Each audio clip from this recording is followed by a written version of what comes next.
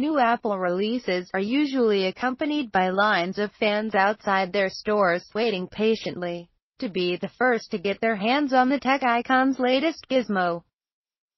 Not this time. Well, if you have at least $10,000 to spend on a watch, Apple is creating a club class for customers looking to buy its new Apple Watch. There'll be no lines, private lessons for users and 24-hour support for those buying the high-end version of its soon-to-be-released smartwatch, according to documents seen by tech site 9to5Mac. Apple unveiled the long-rumored watch at the start of March.